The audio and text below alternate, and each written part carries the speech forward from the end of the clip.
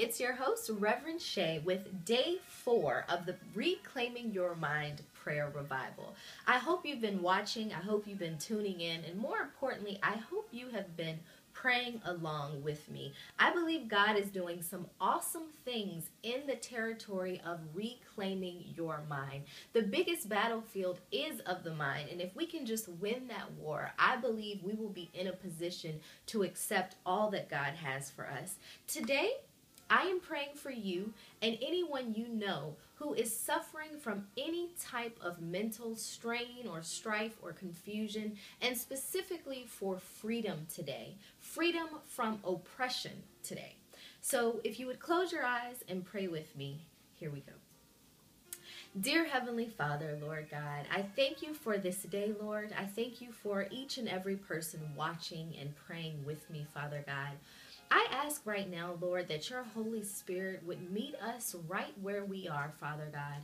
That your Holy Spirit would meet your people right where they are, Father God. And that you would release an anointing of freedom, Father God, from an oppressed mind, Father God. Things have happened to some people watching, Father God, in their past that have left them unstable today, Father God, that have left them having flashbacks and um, have kept them caught up in the past, Father God.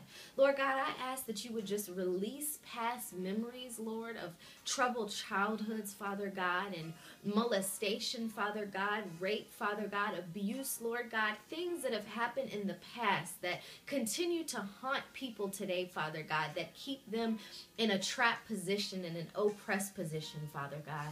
And I'm also praying for the person watching who is constantly thinking of the future, Father God, who is preoccupied with what hasn't even happened yet, Father God, whether it be unrealistic delusions or dreams or fantasies, Father God, just things that are not happening in this present time, Lord God. Pull us back into the present, Father God. Give us the blessed assurance, God, that you have taken care of our past obstacles and battles and that you are already in our future, Father God, waiting to usher us in, Lord God, to your presence even there, Father God. So just Give us the spirit of freedom, Father God, that we can release these thoughts and these memories and all of these things that haunt us and keep us from being in your presence and in the present today, Father God. I thank you for freedom, Lord God. I thank you for lifting the burdens, Father God. I thank you for freedom from oppression, Father God. I thank you for the new thing that you're doing, Father God, in the lives of each and every person watching this, Lord. In the name of Jesus Christ, I pray.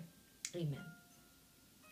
Thank you so much for tuning in. Remember, I'm praying for you. Faith Rocks and SLS Worldwide Ministries is here just for you. So hit me up if you have a special prayer request at slsworldwide at gmail.com and I will respond and I will stand in agreement and pray for you. Thank you for watching.